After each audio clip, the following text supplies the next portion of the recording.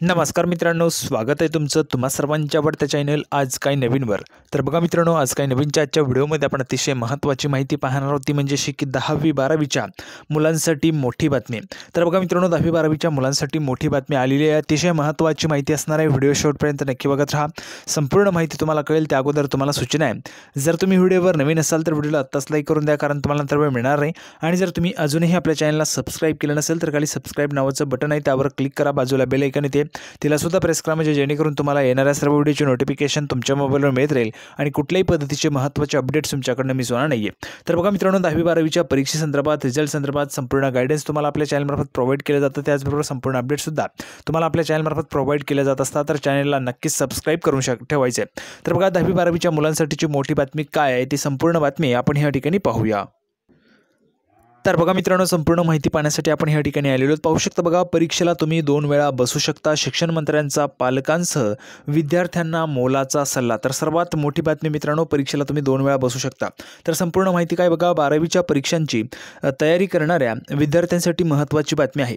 बारावीची परीक्षा मंगळवार दिनांक एकवीस फेब्रुवारी दोन हजार तेवीस ते मंगळवार दिनांक एकवीस मार्च दोन हजार तेवीस या काळात होणार आहे. म्हणजेच एक महिन्याच्या कालावधीमध्ये बारावीची परीक्षा होणार आहे. या दरम्यान शालेय शिक्षण मंत्री दीपक केसरकर यांनी पालकांसह विद्यार्थ्यांना मोलाचा सल्ला दिलेला आहे. तर बघा मोलाचा सल्ला काय आहे? पाहू शकता केसरकर म्हणाले बीडसारख्या शहरात परीक्षांच्या तणावामुळे विद्यार्थ्यांचं आत्महत्या करण्याचं प्रमाण वाढलं आहे. यात आता पालकांनी लक्ष घालायला हवं. परीक्षेला तुम्ही दोन वेळा बसू शकता. हे पालकांनी मुलांना समजून सांगायला हवं. तर बघा मित्रांनो असा जो काही प्रकार आहे तो कृपया करून कोणीही करू नये. कारण तुम्ही परीक्षेला दोन वेळा बसू शकतात. जर आपण ह्या ठिकाणी एका परीक्षेमध्ये जर फेल झालो तर आपण पुन्हा एकदा परीक्षा देऊ शकतात आणि मागच्या वेळेपेक्षा अधिक बेटर तुम्ही नेक्स्ट टाईम करू शकता. त्यामुळे कुठल्याही पद्धतीचं निगेटिव्ह वातावरण किंवा निगेटिव्ह विचार तुमच्या मनात आणायचे नाही पॉझिटिव्ह पद्धतीने चांगला अभ्यास करायचा आहे.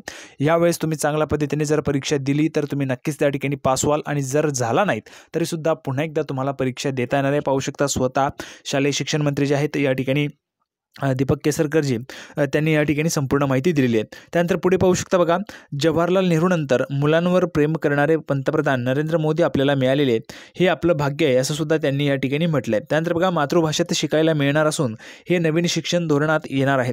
कुठल्याही विद्यार्थ्याला अडचण असेल तर त्यांनी पालक अथवा आमच्याशी संपर्क साधावा असं आवाहन करत केसरकरांनी दहावी बारावीच्या विद्यार्थ्यांना परीक्षेसाठी शुभेच्छा दिलेल्या आहेत. त्यानंतर बघा जर आपण या ठिकाणी पाहिलं तर बघा बीडमध्ये तीस विद्यार्थ्यांनी संपवलं जीवन.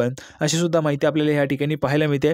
तर बघा असं कुठल्याही पद्धतीचं जे काही आहे ते प्रकार करायचे नाही आहेत चांगल्या पद्धतीने परीक्षा द्यायची परीक्षा जर तुम्ही चांगल्या पद्धतीने दिली पॉझिटिव्ह पद्धतीने दिली तर तुम्ही नक्कीच त्या ठिकाणी सक्सेसफुल राहाल. कुठल्याही पद्धतीचं टेन्शन परीक्षेसंदर्भातचं घ्यायचं नाही आहे संपूर्ण मार्गदर्शनसुद्धा तुम्हाला आपल्या चॅनलमार्फत केलं जात आहे. चांगल्या पद्धतीने अभ्यास करा. नक्कीच तुम्ही येणाऱ्या परीक्षेत त्या ठिकाणी सक्सेसफुल व्हाल.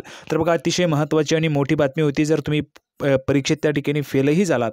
तरी तुम्हाला परीक्षेला पुन्हा एकदा बसता येणार आहे. त्यामुळे कुठल्याही पद्धतीचं टेन्शन मनात आणायचं नाही आहे चांगल्या पद्धतीने परीक्षा द्यायच्या आहेत. फर्स्ट अटेम्प्टमध्ये तुम्ही पास व्हायचं आहे. झाला नाही तरीसुद्धा सेकंड अटेम्प्ट तुम्हाला मिळणार आहे. त्यामुळे मित्रांनो अतिशय महत्त्वाची आणि मोठी बातमी होती. सॉरी सॉरी स्वतः या ठिकाणी शालेय शिक्षण मंत्री यांनी ही माहिती दिलेली आहे. तर यापेक्षा तुम्हाला हा व्हिडिओ आवडला असेल व्हिडिओला तर लाईक करा. जास्तीत जास्त शेअर करा. आपण पुन्हा एकदा भेटणार पुढच्या व्हिडिओमध्ये अशाच पद्धतीची एक महत्त्वाची माहिती घेऊन. तोपर्यंत धन्यवाद.